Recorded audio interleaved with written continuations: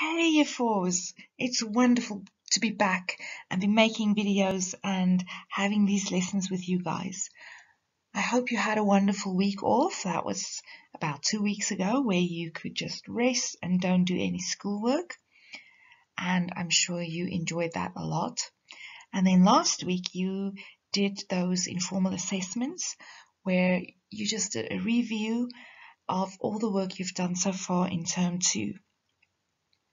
Now today we'll be continuing with our lessons and with story writing that we started two weeks ago. Right, today we will be looking at the features of story writing again just to remind you and refresh your memory. And we'll be looking at creating characters. Then we'll start with a plot of the story. We'll look at writing the beginning and we'll be planning it in your story mountain planner and then you'll write it. Then you'll be doing planning the middle and you'll be writing it. So we'll be writing the story bit by bit every day and not the whole story in one sitting. Then lastly, we will do the ending. You'll once again plan it first and then write it. You'll also be doing two high frequency word sheets. The words on those sheets are very relevant for story writing. So keep those close by. And then you'll be doing the long O vowel digraph, which would be the OA and the OW. I just want to tell you, this week is your story writing week. So I would like you to be as creative as you can be. So let's have a look at the work for um, task one. So we will start with a high frequency words sheet. and that will be sheet number 10 in your worksheet pack. We will quickly do a review of all the features of fictional writing as you did it two weeks ago and I think you might need a little refresher. And then today we will focus on planning your character for your story. So there you have it all.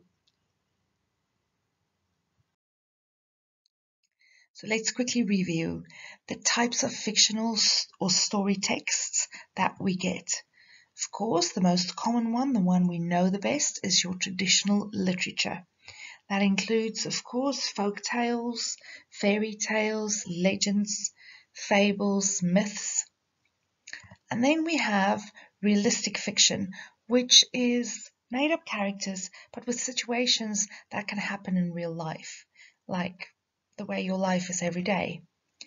Then, of course, there's fantasy stories that is a little bit of magic or superpowers in those stories. So they're not completely real, not the same as realistic fiction.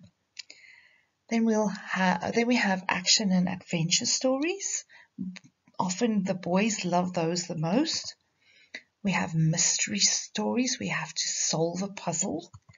And then we also get science fiction, which is like futuristic stories. Today, however, we'll be focusing on traditional literature, or that is at least the kind of story I would like you guys to write. Okay guys, we're going to run through the features or the elements of a fiction text or story. So the features or elements of narrative writing is as follows. To start your story with, and that's usually your beginning, you have to have a setting. It tells you when and where the story takes place. And then very, very important is your characters, the people or the creatures or animals in your story. What is going to happen to them? And you have to introduce them at the beginning of your story. Then the story, the actual story is called the plot. The plot has three parts. It has the opening or the beginning, which is also called the introduction. Then you have a middle part, which is the biggest part of your story. It has a build up and then it has a problem, which is also the highlight or the climax of your story. And then it winds down, the problem is solved, and then it ends up with an ending. So let's have a look at the setting. We did that two weeks ago, but we're just reviewing it and refreshing your memory. The setting is the time and the place of the story. So that means it tells us where and when the story is happening. The setting can of course change during your story. It doesn't necessarily have to stay the same. As you could see there, there's a lovely scary setting for a story. When you create a setting, you have to use your senses to add describing words to your setting. So let's have a look at this setting. I have a list of describing words, which is adjectives, to describe this setting. So if you have to look at those words, what would you use to describe this? I could possibly use tranquil, calm, breathtaking because it's really beautiful, peaceful, and of course beautiful. There is one or two other words that you could also use to describe this specific setting. Now we're moving on to the exciting part of planning your character. Characters tell us who is the story about. Characters can be people, animals, or creatures. Usually your characters have a name, and I would specifically want to ask you to not use your friend's name in your stories, but create interesting names for your characters. Don't just say the boy or the girl or the king or the princess. You can, but try and be creative about the names you use. And then, of course, we have our good character and we have our evil or our bad characters. The bad character usually creates the problem in a story. So you need that one. And then, of course, with the, your main character, you can have other supporting characters to help your main character. Let's have a look um, at how to describe your characters. We're going to use describing words, and that is adjectives that we did in term one. And we're going to use lots of them during story writing. They are used to describe what your character looks like and also how he or she is. Let's have a look at little Piglet here. And we're going to focus first on what Piglet, Piglet looks like on the outside. So how would you describe her appearance? So what do we see? We see a pink body, a striped belly. She has big pointy ears and she is small. Okay, the describing words over there, pink, striped, big, pointy, and then small as well. Then we're going to use adverbs to describe how the character feels and how they do things.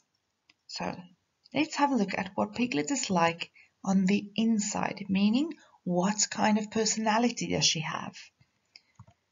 So she her feelings is that she is usually very nervous. She worries a lot about things. That's what her thinking is. She asks many questions. And finally, in her actions or the things that she does, we see that she's hesitant. She doesn't just do something straight away. She waits a little bit. She's kind of a bit unsure. We're going to start your task one now of planning your character. So first of all, you plan your main character, the one the whole story revolves around. Then you'll be adding your bad character, that's the one who's causing your trouble. And then you can add one or two extra characters. I want you guys only to have a maximum of four characters in your story. Who is in your story and why? There are some ideas of different kinds of characters you could have, so just read through them by yourself. and there will be your character planning sheet. I'll explain that one to you in just a moment. Then I've added some wow words to describe your characters. On the left side is all the words to describe your positive traits of your character, all the good things about your character. And on the right side, it is the not so good things about your character, and many of those you would be using for your bad or evil character. So what do you need to do today? Your high frequency worksheet, number 10, it's on page 2 in the worksheet pack. Many of the words this week um, is words related to story writing.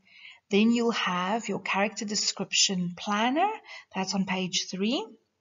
And then you guys will see that I've put on a website this week for you to read stories on this website. So you won't be using your English reader. Enjoy that. Then looking at your character planning sheet. On the left side, you'll see, well, the big space there is where you draw a picture of your main character, what he will be looking like, what we what he will be wearing. Then you're gonna write to me what is he good at? What is the things he can do that is good? And then four describing words. This week with story writing, we're going to focus a lot on the parts of speech which um, are adjectives, describing words, and adverbs.